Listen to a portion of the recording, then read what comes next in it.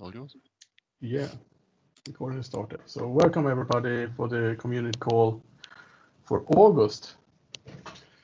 Uh, so uh, the agenda today is uh, updated news, progress on uh, conversion, new modules, and Michael is going to talk about uh, Azure Arc, and then we can have some questions if there are any. I I think we go fairly fairly fast through the first part, so Mike can start talking. Uh, it's not so much. So we update the news. We can start with the the automated documentation we uh, we have for uh, the DSC resource, the DSC modules. Um, we have uh, last uh, community call we talked about we that we can publish uh, GitHub wiki documentation. And we now uh, added, so it, it's possible to add Markdown in the schema as well.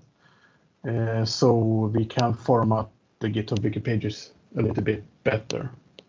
And that Markdown is also removed when uh, the conceptual help is generated for the modules. And also, I'm, I'm working on a blog post for this uh, that's going to explain how this is the DSC resource uh, dot doc generator module that does this. Uh, and it has build talks, and I'm working on a blog post that are going to explain how how it works and what you can do with it. Um, it, it's coming along, but I, I found a, few bugs that we just recently merged, so that I needed to have in before I could continue. So yeah. And then the biggest news is the proposed changes to the DSC resource platform uh, that uh, Steve Lee um, created an issue for. It's a link here. Uh, if maybe Mike, can you post it in the chat? Maybe if you have it.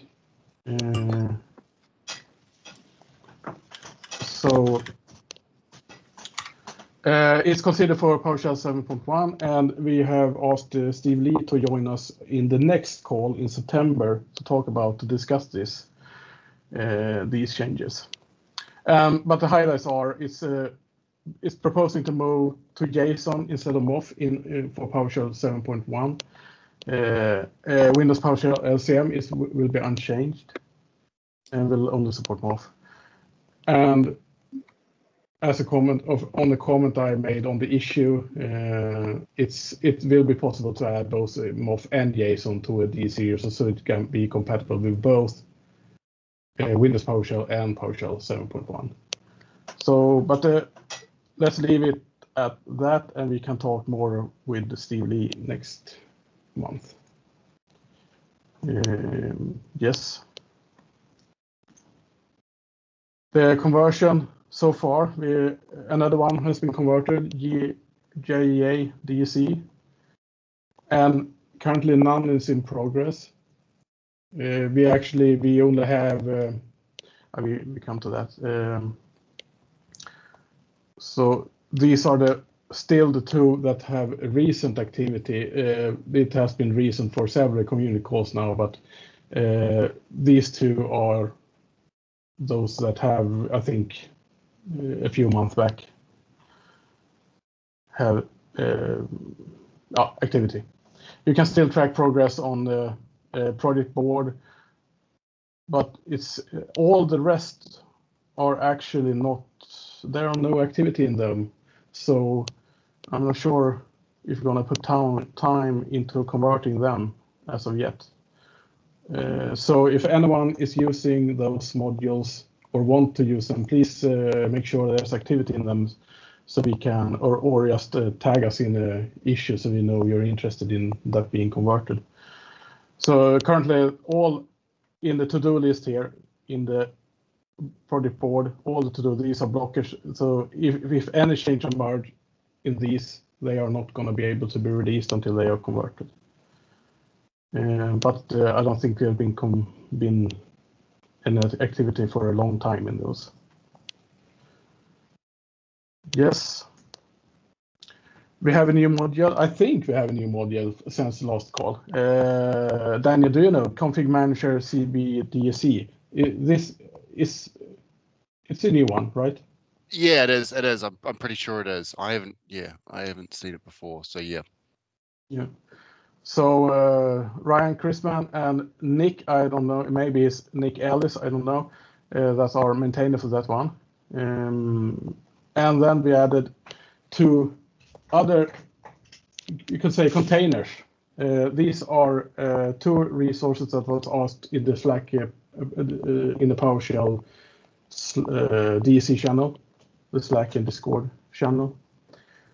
And I, I call them WIP modules, work in progress modules, uh, because they have no DSC resources yet. Uh, they're just placeholders uh, where we can, where the community can add uh, resources. And the maintainer is uh, Ryan Yates.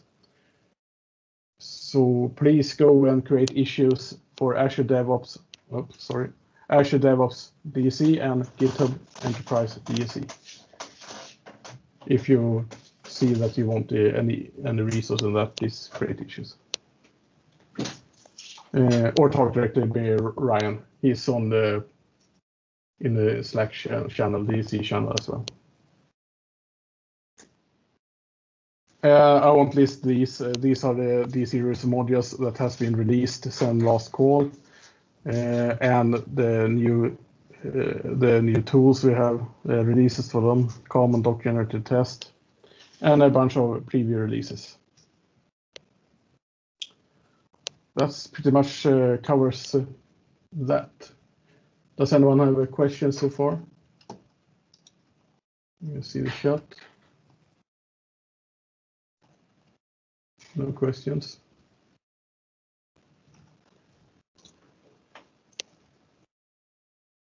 Nobody's writing either. So uh, let's leave it over to, let's give it to Michael. Michael, you can cool. talk. I. Uh, yeah, this sounds good. Oh, Actually, let yeah. me switch to my headset and you will hear me a little bit better.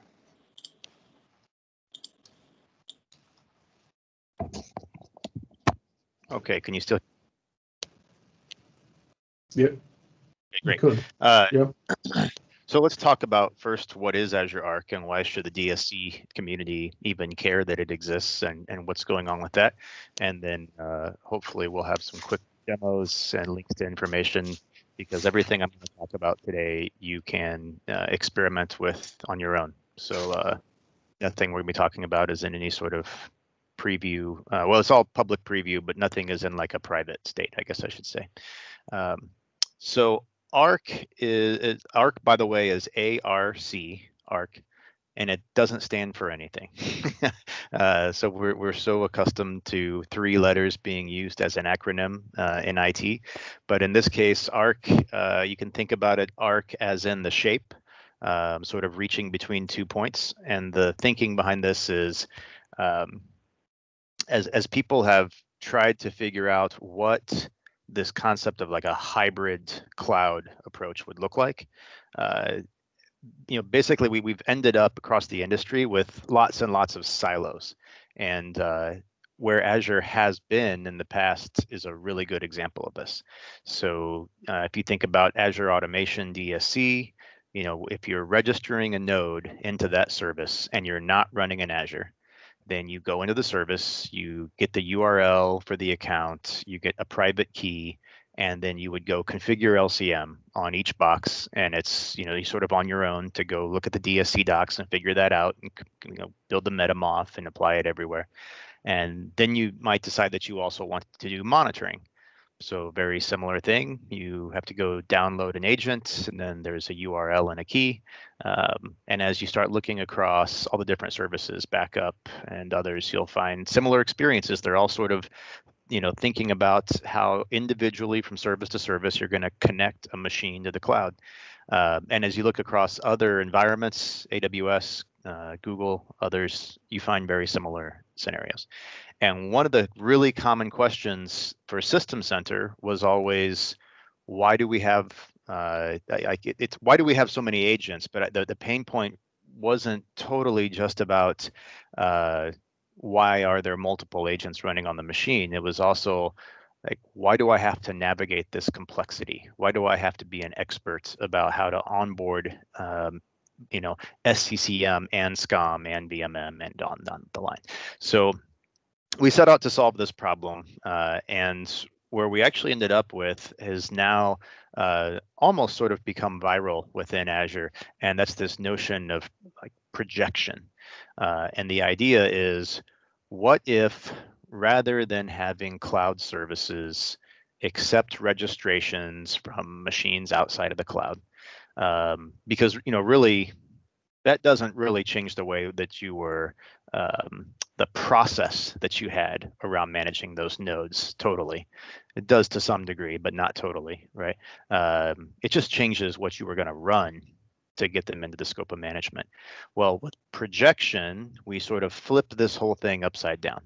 And the idea instead is to say what if we took things that are not in the cloud and project them into the cloud, which means uh, quite literally there's going to be a representation of that thing, even though it's just a record um, living in the cloud. And then, uh, depending on the type, you connect the machine one time, like in this case to Azure, and all of the services that are available in Azure just work. So even though the machine is not an IaaS machine, like an infrastructure as a service machine hosted in a Microsoft data center, it's still running in your private data center. All of the concepts, it's it's in a subscription, it's in a resource group.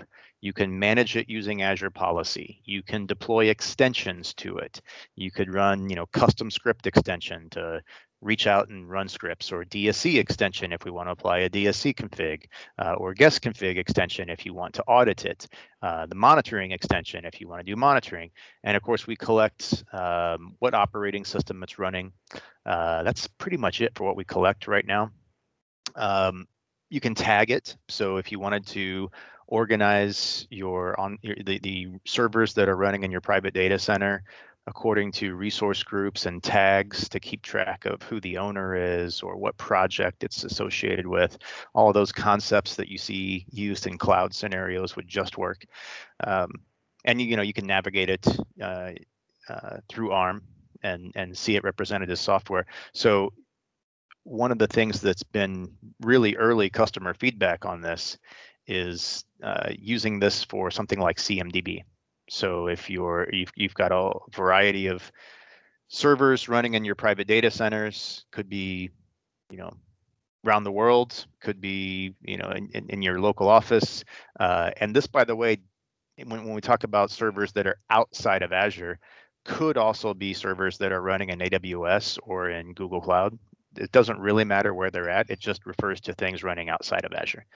Um, and so, you know, the idea of if it's running on Hyper-V, VMware, if it's hosted by Rackspace, etc., uh, and you're hosting a CMDB to maintain the inventory of all of your information, now you're supporting the connectors for every one of those types of environments. And one of the things people discovered right away was, well, I just put the Arc agent on this, and now I can just query one API and I can see all my machines everywhere. And then another point of feedback that I thought was really interesting, um, somebody made the comment, well, if we just put this agent on there and it's basically just sitting there not doing anything, just sort of checked in the machine. Um, and we now release it from operations to application owners, then if tomorrow that application team submits a request for the operations team to onboard to monitoring, you no longer have to figure out, okay, well, what platform are they on or what environment are they on? Um, what do I have to run in order to figure out, you know, how to onboard that into a monitoring solution or patch management solution or whatever? It's all just what we call control plane. It's all just Azure Resource Manager calls. So you could run a PowerShell script, tell Azure, I want to deploy the monitoring extension to these machines that are in a resource group that represents that application, and that's it. You don't have to worry about scripting across VMware versus scripting for Hyper-V or Virtual Machine Manager or um, you know making a call over to AWS and things like that. You sort of got a common scripting model you could follow. Um, so to visualize this, I'll share my screen and then I'll show a quick demo. So this kind of gives you like an architectural um, view of what you could expect, but you can think about it as a customer. Uh, all, all of these tools and experiences that you might have used already for Azure just work, right? Whether you're calling from PowerShell or if you prefer AZ-CLI or some other SDK, um, you know, all, all of these concepts of how that you interact with it uh, are all consistent. All of the management services that you would think about becoming available, um, including patch management service um, and others, just like the same way that they're available in Azure for machines that are running in Azure and you know guest configuration benefits from this scenario big time because so far guest configuration has only existed in Azure, and I'll explain why that why you would care about that in a second. Um, and this this makes guest configuration accessible outside of Azure as well. Um, as far as like once the record's created and who can take actions, uh, the same security model applies even though the machine is outside of Azure. Um, being able to do things like um, use blueprints to control who can take what actions across those machines or automatically take actions on the machines as they're registered all still exists. And again, we really, it, it can be in your data center. Um, it can also be just in any cloud environment outside of Azure, and it works the same way. So if I bring over my browser,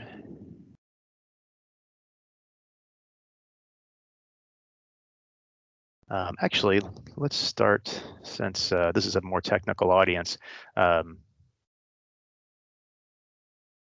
so I started this just a few minutes ago, so hopefully everything has had time to run. Um, but this is just a machine running in VirtualBox on a MacBook. And there is a DSC resource, which I need to get handed off to the community. I was going to do that already, and I didn't get a chance this week, um, that I wrote that uh, the only chore is keeping the examples up to date because the ARC agent, since it's in public preview, has been getting frequent updates. But uh, there's a DSC agent uh, or DSC resource that handles uh, just calling the uh, the executable that gets downloaded whenever ARC is installed and handle the connection. Um, and there's a service principal you can create with a role definition. So basically, there, there's there's a um, an identity that you can register and say the only permission that this identity should have is that it can register ARC machines. And then its username is going to be a GUID and its password is a long, complex auto-generated password. Um, so that way you can embed that in your scripts with no risk that it could be used maliciously. Um, and the example config in that repo for the, the ARC Connect or Azure Connected Machine DSC resource. I get that right? Azure Connected Machine Agent DSC. uh, so I just have the package resource go out, download it, and install it. And then I've got the service resource, make sure that the hybrid instance uh, metadata service is running. And then I use um, that resource to actually do the registration. Um, that is included in the docs. So if you go out to the ARC doc, uh, docs.microsoft.com, Azure, Azure-Arc, and look under servers for Arc, Arc enabled servers under how to guides. When you click on connect to Azure Arc, uh, we made sure that connecting machines with the PowerShell DSC resource is a fully documented scenario for onboarding at scale. Um, so if I go look at what it creates, uh, this is the Azure portal and I'm logged into my account. I've got a resource group uh, where like if I was provisioning a virtual machine, you would see that get created here, but you can see machine Azure Arc. And if I go take a look at it, um, you'll see I can confirm it's connected. Uh, it, it, has a location, but keep in mind, this is not the location of the machine. This is the Azure region where the record was created.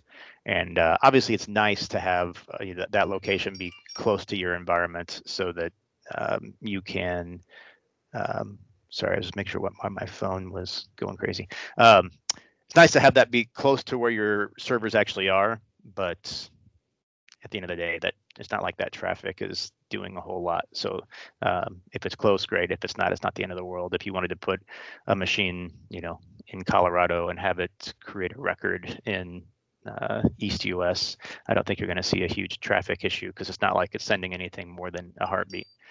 Um, but it's in a subscription. Uh, you can apply whatever tags you want. Um, it does pull the computer name and the fully qualified DNS name. Uh, you can keep track of what operating system and the OS version, and then uh, the agent version.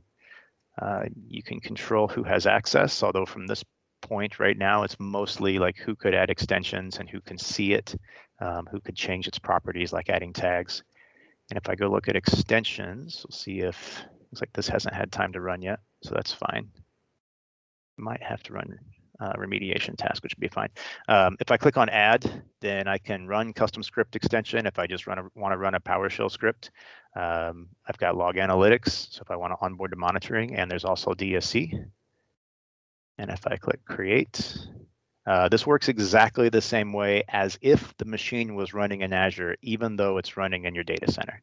So you're just going to point to the power. So that with DSC extension, it's going to get compiled on the machine where it runs and generate the MOF locally. The nice thing about that is if you want to put some additional logic in the PS1 file to have it discover something about the machine and feed that in before the MOF is created, that would work. Um, so compilation is happening uh, locally for the extension and you can pass in arguments and um, you can pass in a PSD1 for the data file. Uh, you can pick which version of WMF you want because uh, if you were choosing an operating system like 2012 uh, that you might have a requirement for for an application and it doesn't have uh, Windows Management Framework 5.1 yet, then this would install it. So you have to keep an eye out for that because WMF 5.1 um, might be something you're not ready to install on your machine. So keep, you know, pick the, the version that you're expecting to be there. Um, you can decide whether or not to uh, collect telemetry and auto upgrade minor version just means for the DSC extension itself, not DSC, but for the extension that's managing making these calls. Uh, if we go from version 27 to version 28, should it automatically update? And in most cases, uh, everybody that I'm aware of chooses yes. So you'd fill that out, click review and create, and it would actually install the extension. Um, but instead of being on an Azure machine, it'll end up being uh, in the on-prem machine. Uh, update management and onboarding to that works exactly the same way. So if you're interested in patch management as a cloud service, uh, it's something that you can use as part of this. Um, and obviously inventory, change tracking, the other autom automation services uh, are something to take a look at. Monitoring and, and um, log analytics uh, is also something that can be onboarded from here. And you can think about this in two different ways. So in this case, I'm looking at the properties of one machine. And you might come in here, especially if you're just poking around for the first time and decide, okay, I've onboarded the machine, I went through the documentation. Now I just, for this machine, want to turn on monitoring or apply a DSC configuration, etc. Um, and by the way, I should add a DSC to think about that.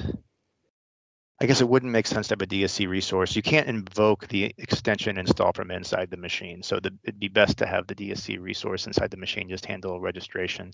Um, and then of course, at that once it's registered, uh, you, you know, unless you want to use partials or something, uh, if you're using DSC extension from Azure, it's going to overwrite using DSC extension to install the agent, which is fine. Um, so once that's set up, if you go into the policy blade, which you would get there, you know, if you're not familiar with Azure, um, that's just considered a service. So you could go to all services, type in the word policy, this will show up. and click on it and get to here. Um, I've got a custom policy here that I've uh, been playing around with. Let me see if it's detected that machine yet. Not yet. Um, but basically under definitions, if you look under category, and I've switched this to initiative. Uh, all of these policies will work both for Azure machines as well as Arc connected machines. And uh, the reason you might care about this is this is all using guest configuration, which is uh, kind of like when we started talking about the new LCM in the past, uh, this is that code base. So this is DSC completely rewritten uh, as a cross-platform C++ project. Um, and for Windows machines, the language abstraction for what audit to perform is DSC, but the agent is actually running PowerShell core. And um, all of our resources. So right now it's just performing audits. We are working and hoping by the end of this uh, calendar year to have more information about guest configuration. Guest configuration also being able to apply uh, some scope of configurations. We'll probably start off with things like regulatory baselines. Um, and if you're interested, if you go out to github.com slash azure slash azure policy under the uh, samples and then guest configuration and package samples. All of the DSC resources that we're using for those built-in policies, uh, with the exception of the baseline, because those resources are actually written in native code, um, they're all out here open source. So, you know, the one that checks to see if it's a domain member would be a good example.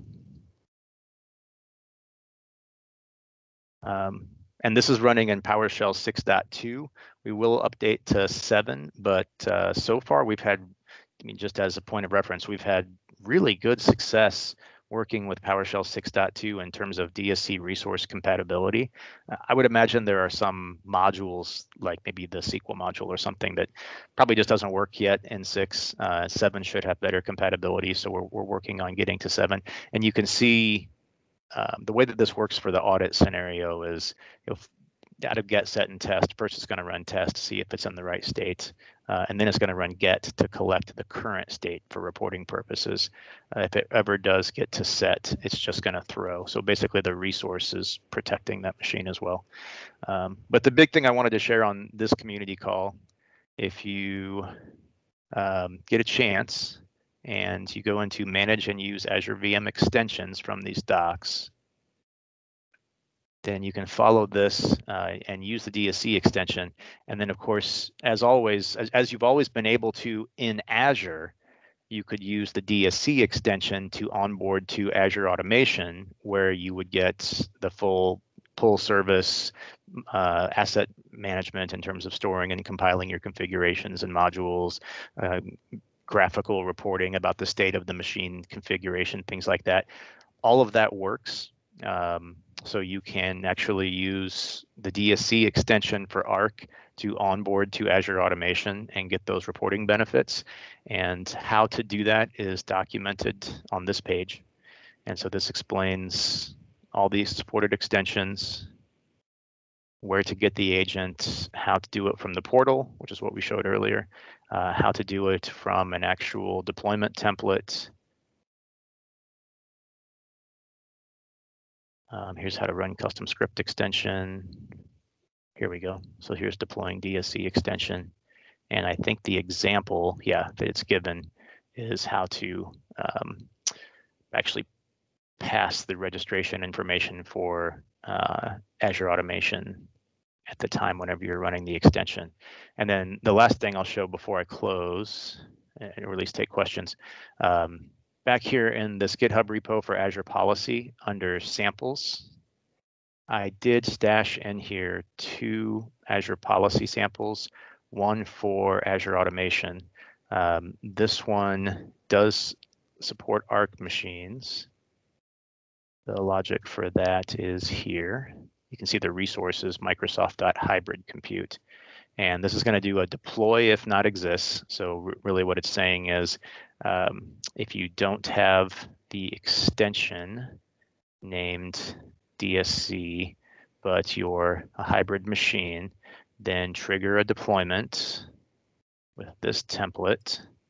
And what you should deploy is the extension um, and this is actually doing a lookup in real time. So it's doing a reference to automation accounts and a list keys.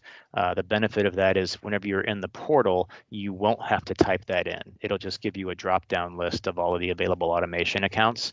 You can just pick the one that you want, hit assign, and it would do onboarding. And then similarly, I stuck under compute, deploy DSC extension. It should be very similar. Yep, includes everything there. Uh, the difference is, I think it'd probably be at the bottom. Uh, it gives you a full set of parameters so that you can just tell it I've got a zip file containing a configuration script. The name of the configuration script is this, the function inside the script is that, and then you could just put that in GitHub or Blob Storage or wherever you want to put it, and uh, be able to just use DSC extension by itself without Azure Automation to apply a configuration to a machine outside of Azure.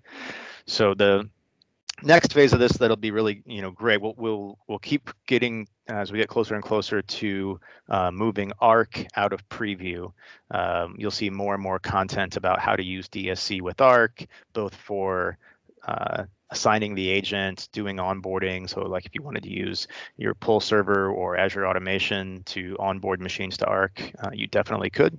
Um, the resource could also be used with Chef, Puppet, Ansible, etc. as part of Invoke DSC resource.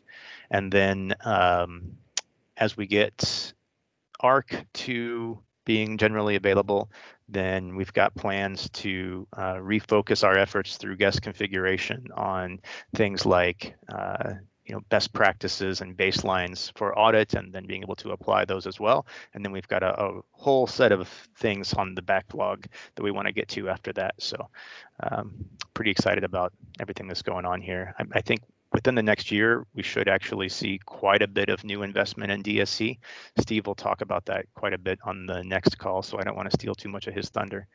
But i'm um, pretty excited to see some new things coming so I'll turn off my screen share and. Ooh. Nice. Uh, any cool. questions? How does licensing work for a machine which is onboarded as a hybrid machine into Azure Automation? Is it treated as an premises or, or Azure machine? It treats it as on premises.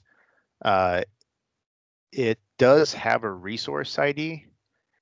So one of the things we're looking at for Azure Automation is like when you click when you click the button in Azure Automation to say add a new machine, there's really no reason why Arc machines couldn't show up there as well because everything that's going to happen from that point forward is exactly the same as if it was an Azure VM. It's just the resource type changes from dot compute to dot hybrid compute.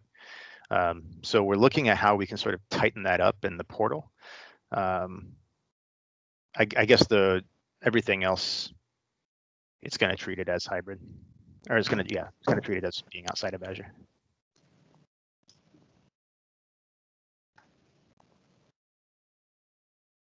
Thanks. Sure. Really, all DSC extensions doing there is applying the meta the meta MOF. Yep. Actually, even in Azure, uh, functionally, doesn't really know the difference. um, the guest agent service keeps track of whether it had a resource ID or not, but uh, and so it can tell the difference. But um, that's why things like virtual machine scale sets just magically worked for Azure Automation because it didn't know that it was in a scale set. It's just LCM talking to a pull service. So.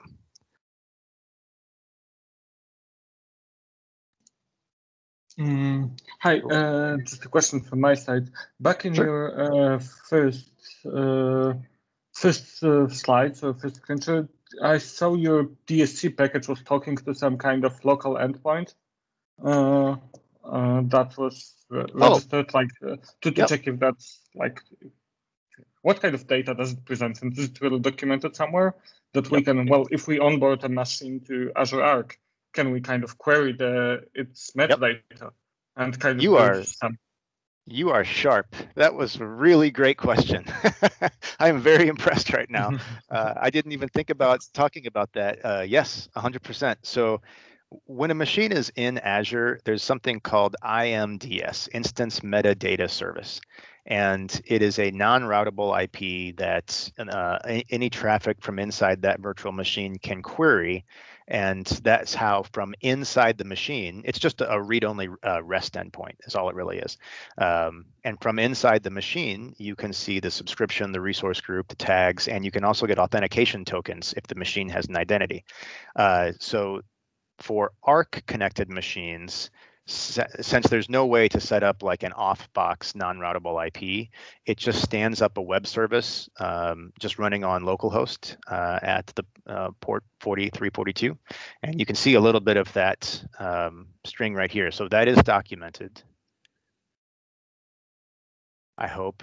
Just, I put I, I put the link in the chat there as well. Oh, you, that's brilliant. Thank you.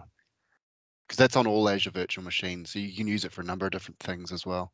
Yeah, and the only difference, so HIMDS may not be out here yet. Is that the link to um, IMDS or HIMDS? Yeah, IMDS. So okay. So not the HIMDS. Check and this is actually a good point. I'll check with um, my peer Ryan, and we can probably get this out here pretty quickly. Um, the one major change that you'll find, we already have this on a, a doc that we were sharing for uh, private preview a couple months ago. It looks like it just hasn't made the docs page yet. Uh, the the schema for the REST endpoint is very similar, except for the authentication tokens.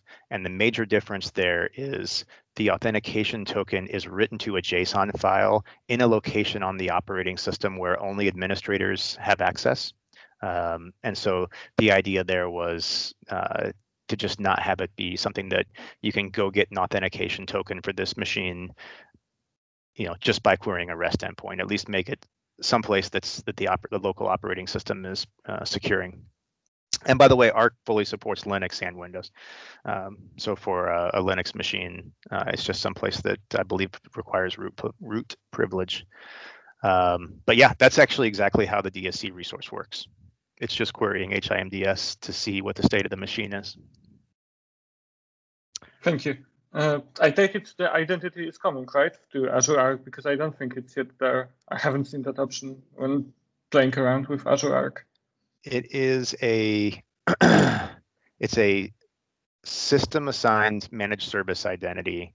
And because the Arc agent is using the machine's identity to talk back to Microsoft.hybrid compute, like the microservices that represent uh, the data for that RP, um, uh, the identity always gets provisioned. And it doesn't support user assigned MSI yet. Thanks a lot for that. Sure. Thank you. So the, I mean, just because you guys would probably be interested, uh, so Nitin's team that's doing all the work for guest config has had a major role um, in all the extension management stuff for Arc. So if you get to playing around with the agent and you start looking at logs, you're very quickly going to see that what's taking the request to install an extension and then writing details about that is very, very similar to guest configuration. um, a lot of the a lot of the logs are identical, and uh, you probably I'm, I'm, I'm sure if you looked hard enough, you'll see references to DSC in there somewhere because um, it's it's a very DSC like uh, implementation.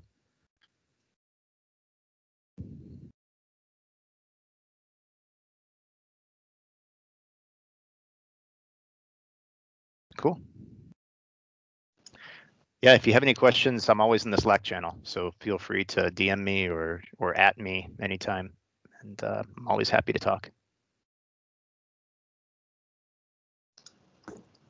And so, Michael, another general licensing question: What is yeah. the license for Arc itself? Yeah, uh, we are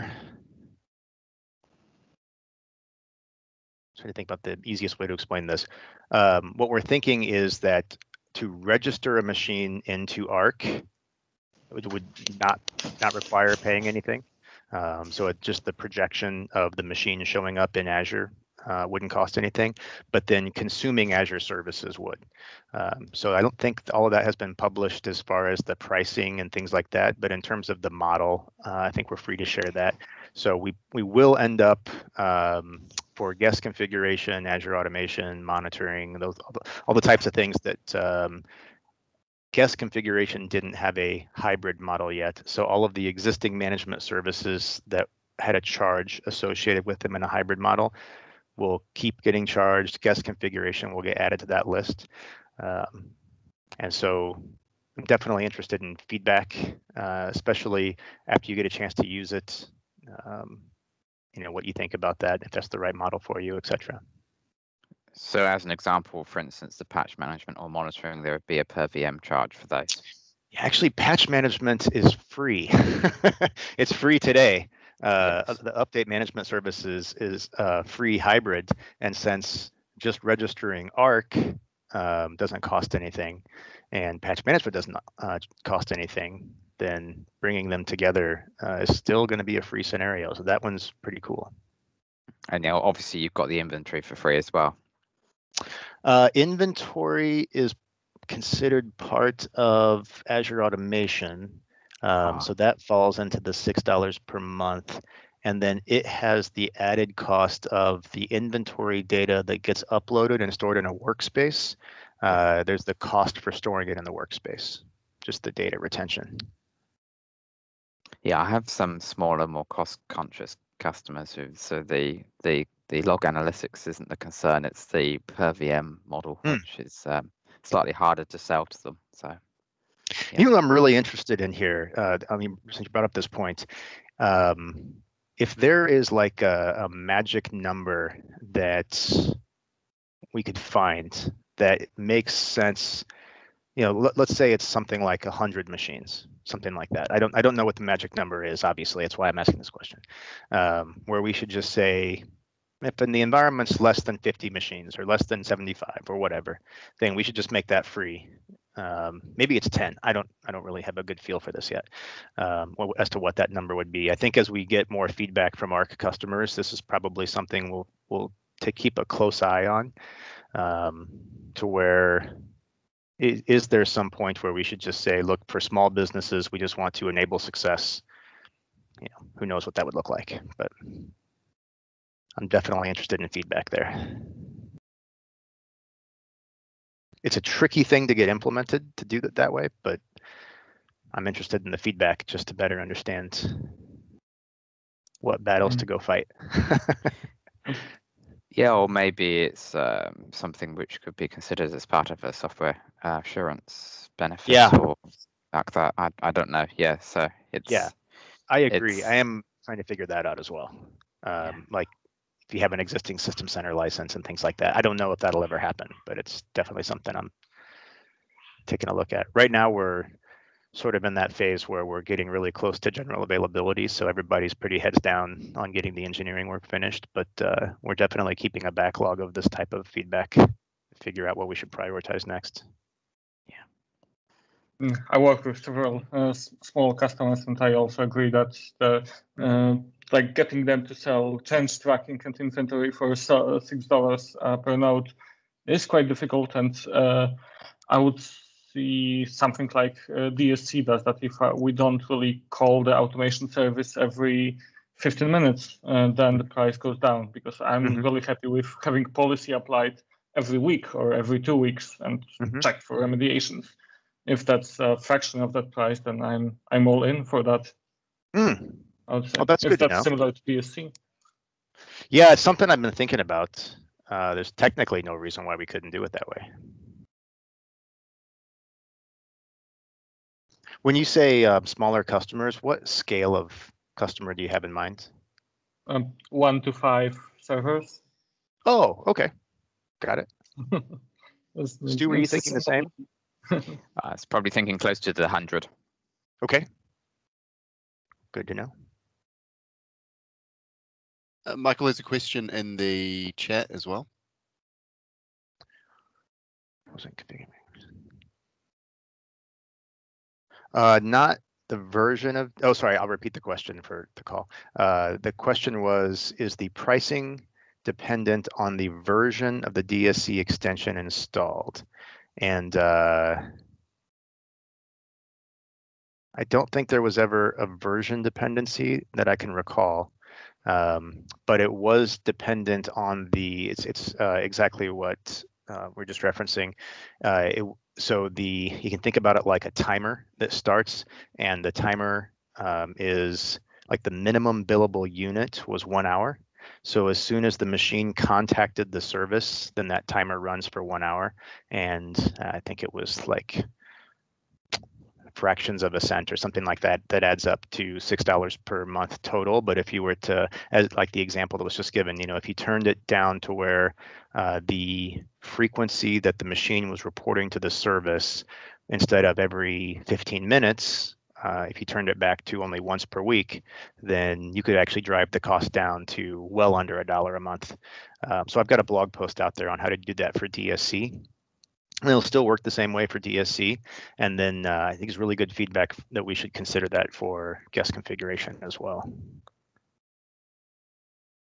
It's not a scenario that we've tested yet. Otherwise, I would say go for it. Um, it's just something that we haven't had a chance to investigate yet. Having a guest config report less frequently.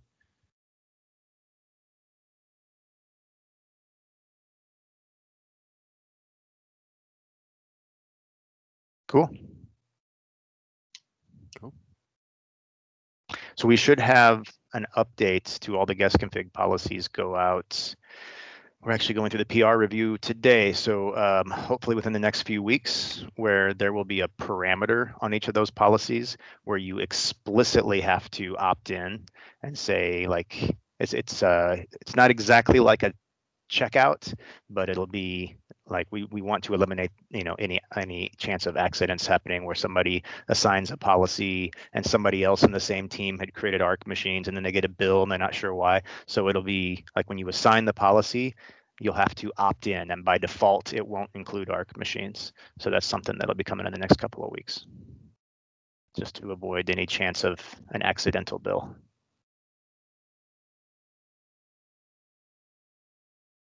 Um, and then actually, I was just talking to um, the automation team this past week. I think we are going to take those sample policies for onboarding both Arc machines and Azure machines um, and the DSC extension policy and uh, make those built-ins as well. So you won't have to worry about taking them from GitHub. They should just be available on the portal.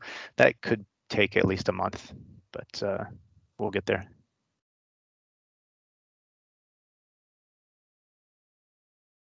Cool. Yeah, anything else? I'll, I'll be available on Slack anytime. Yeah, so if Yeah, thanks, Michael. That's really good. Thanks. So if, if there are no more questions, uh, we end this call. The next call is uh, on Wednesday, September 23rd at the same time. So one and a half month until then. And then we have Steve Lee, as mentioned. Yeah, thank That'll you, be great. everybody. I'll try to get Yeah. Joey as well. Awesome. Yeah, great. I'll take. Great. Thanks, Michael. Thanks, everyone. I'll stop the recording now. Thank you. Goodbye.